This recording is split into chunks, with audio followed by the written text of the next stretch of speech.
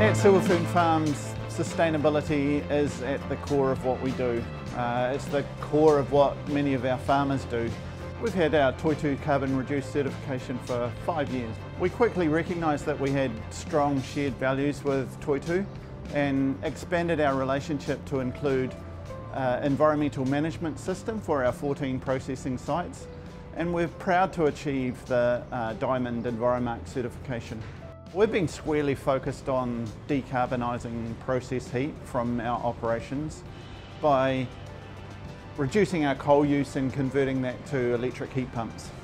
One of the really exciting things about launching Net Carbon Zero Beef has been our ability to pay farmers directly for the carbon that their farms are sequestering and to really encourage greater investment in things like restoring wetlands, looking after native bush or to uh, plant more stock shade and shelter.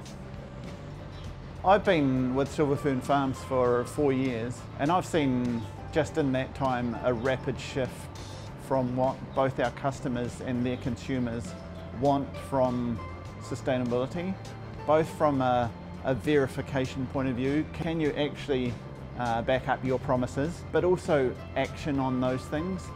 Uh, having third-party verification of those attributes is becoming super important. Silver Fern Farms has a significant role, we think, uh, to build momentum, to support farmers, uh, to think about a change in the food system towards nature positive future.